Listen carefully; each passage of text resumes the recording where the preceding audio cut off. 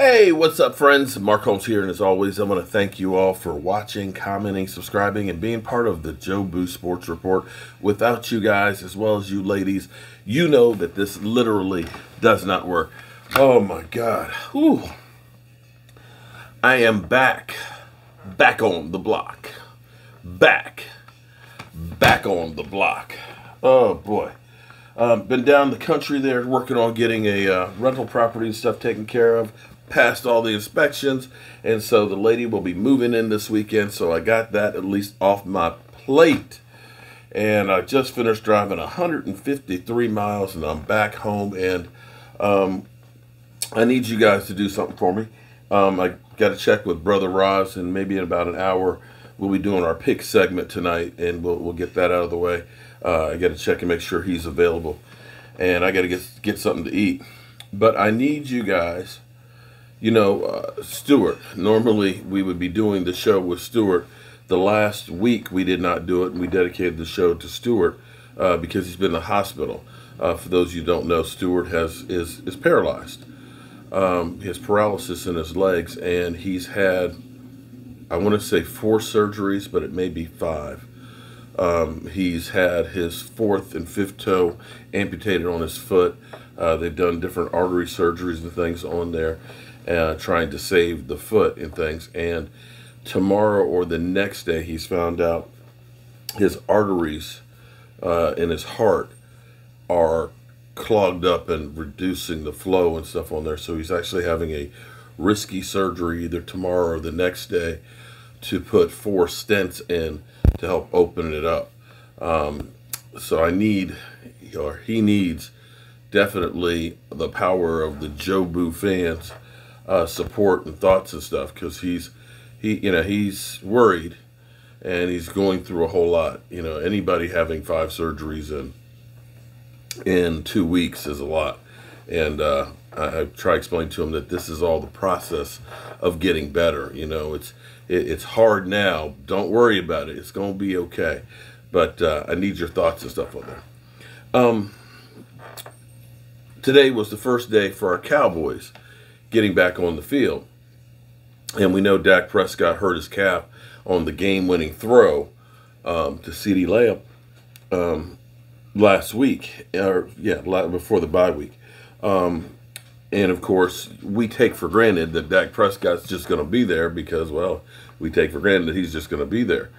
Um, he's been doing treatment and everything, you know, throughout the whole course of the bye week and things. And you know, Jerry, Dr. Jerry Jones said he it's not even a thought in my mind uh, about how the leg is. Um, but today in practice, he was limited, and this is where I'm trying to dig down a little bit deeper um, below the surface. If this is gamemanship, where they're trying to put in doubt who to prepare for, for the Minnesota Vikings, or is this to create a little extra drama or, or what? But something about the way I've been hearing some of the stuff. You know, CeeDee Lamb, of course, went through and said, hey, you look like same old Dak, no worries. But Zeke Elliott, Zeke Elliott, who knows Dak better than anybody else, he said, shout out to Gina, thanks for sharing this with me while I was on the road. I know he wants to play. We all know the competitor Dak is if he's able to be out there and play, he's going to play. He's been doing everything he can to make sure he's able to play in this game. He's going to exhaust all resources.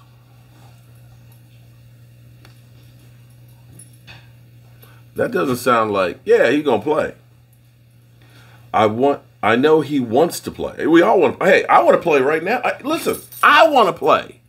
I want to play, but the reality is I, I can't. I, I, can't. The Cowboys, first of all, wouldn't let me on the field to be a liability. I don't physically have it in me to be able to play, but I want to play. We all know the competitive. Hey, you know I'm. You know I'm competitive. You know I'm competitive. If he's able to be out there and play, he's going to play. He's been doing everything he can to make sure that he's able to play in this game. He's going to exhaust all resources. Also, Dak Prescott was limited participant in practice today. Same for cornerback Diggs, uh, Tyron Smith, Dorance Armstrong, all of who have ankle injuries. Also, an hour before, Zeke said this this latest statement.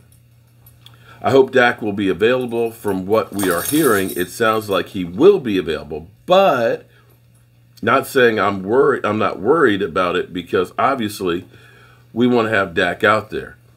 But I have a lot of confidence in Cooper Rush. He had a great day today. This got me worried. CeeDee Lamb, same Dak, he looks great to me. He looks perfectly fine. I don't know. I don't know. Is all I can say that this has now got me with a little shadow of a doubt on how it is. Now, again, it's only Wednesday. It's the first day. Uh, nobody's practiced for several days because it's the bye week.